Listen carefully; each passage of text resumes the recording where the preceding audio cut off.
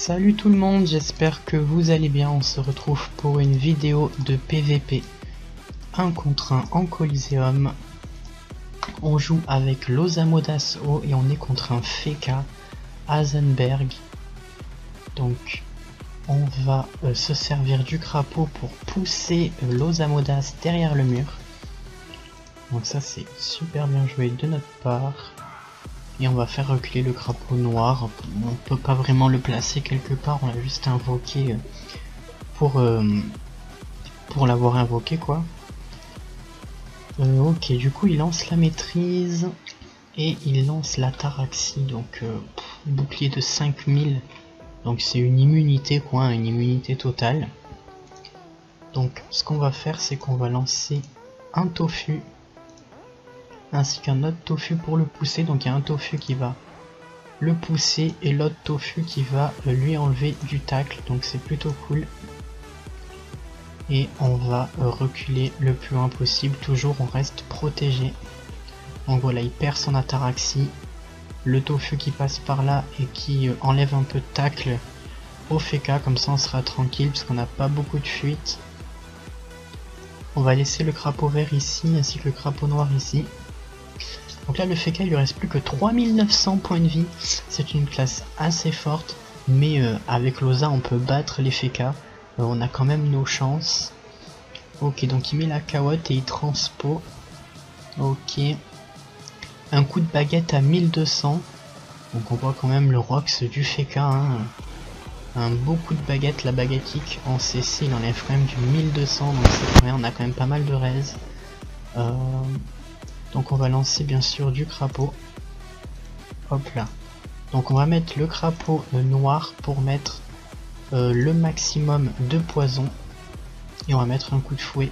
Hop là. Et on va venir se placer ici. Parfait. On reste au cac pour profiter euh, du bonus. Et donc on va empoisonner le Feka. Le Feka est pas trop taclé donc L'idéal serait de mettre euh, le crapaud noir ici pour embêter un petit peu euh, le Feka. Donc là, le qui lui tape. Donc bon, ils vont tuer la carotte, hein. il focus la carotte. Là, on va taper tout simplement le Feka. On va l'embêter un petit peu. Et on va lui rajouter le maximum de poison. Hop là. Pour l'embêter. On va cacher un petit peu. Et voilà, il perd quand même du 900. C'est plutôt pas mal. Ok, donc il met 100 euh, trucs, d'accord. Un coup de baguette à 500 quand même, donc c'est pas rien. Ok, un coup de sort à 1000, donc euh, il tape quand même beaucoup, beaucoup, hein. c'est pas rien. Donc on va mettre une onde aquatique et on va mettre un bouffe tout noir. On va lui enlever le euh, DPM avec fossile comme ça, il perd pas mal de PM. Et voilà, la pesanteur qui tombe. Donc là, il faut jouer vraiment très stratégique parce que vous voyez que chacun de ces sorts enlève du 1000. La baguette en CC, elle fait à peu près 1200. Donc euh, il peut taper jusqu'à 3000 par tour. Donc c'est vraiment assez fort. Euh, la Kawat qui va mourir. Donc ça, c'est plutôt cool pour nous. Euh, là, on va taper le, le, le Feka. Voilà, on est plutôt pas mal. On va continuer de mettre euh, du poison.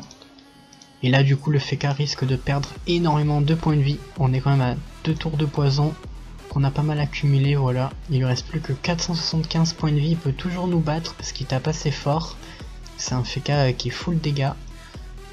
Ok, donc il nous tape du 160, un coup à 1340, donc c'est énorme. Un coup à 430, vous voyez, enfin, c'est ultra shit, ultra ultra shit.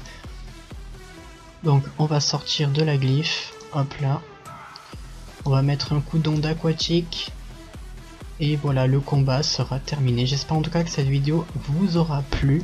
N'hésitez pas à commenter, à liker. À la prochaine les amis. Tchuss